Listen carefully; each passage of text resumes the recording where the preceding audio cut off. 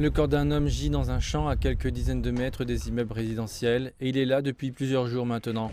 À proximité, un char ukrainien détruit et un véhicule blindé se cachent entre des bâtiments détruits et des résidences. Des survivants sont assis à côté des décombres.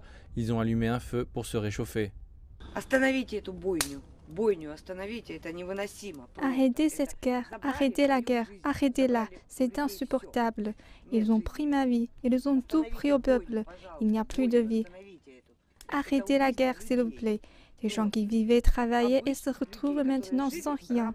En se dirigeant plus profondément dans Volnovaka, il y a d'autres chars ukrainiens détruits, les restes d'une église et des maisons détruites. Au centre de la ville, un hôpital local est aujourd'hui en ruine.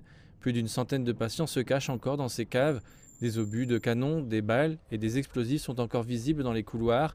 Des témoins disent que les forces ukrainiennes ont transformé cet hôpital en forteresse. Les chars, l'artillerie, les mitrailleuses, tout était sur le territoire de l'hôpital. Ils ont tiré depuis le territoire de l'hôpital et depuis les deuxième et troisième étages.